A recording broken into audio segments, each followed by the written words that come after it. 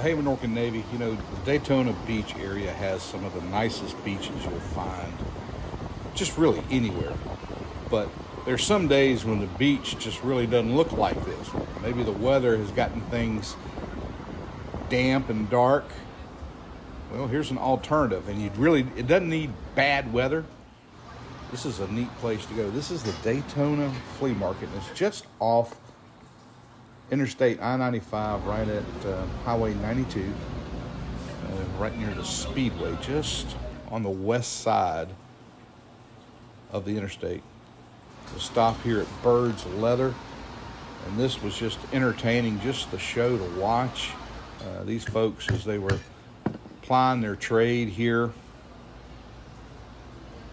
and making the, these leather goods. Um, a lot of this stuff that they're making, it just starts from scratch, from a pattern. This craftsman here is making a radio pouch uh, for uh, the fire department. This was a special order. Uh, firefighter wanted this done in pink, with pink uh, stitching and pink lettering. Oh, is this good? And he assembled all the pieces, made all these pieces, stitched this right here in front of us, and just really enjoyed watching this show.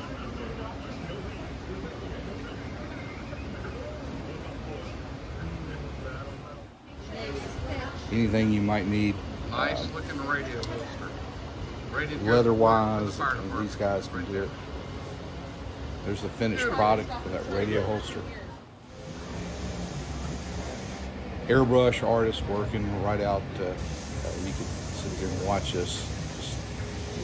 Kind of amazing how uh, this artist has this touch with the with the little paint gun to create these pieces. Really neat. Just an idea for you. If You guys ever get caught down in Daytona looking for a little something to do when the weather's bad or you need sometimes just get away, maybe for some people watching or a little shopping. You also have the best t-shirt deals in Daytona. Hey, that's about all we got for today. Hope you enjoyed it. Send us some comments. But hey, I want you guys to stay safe out there.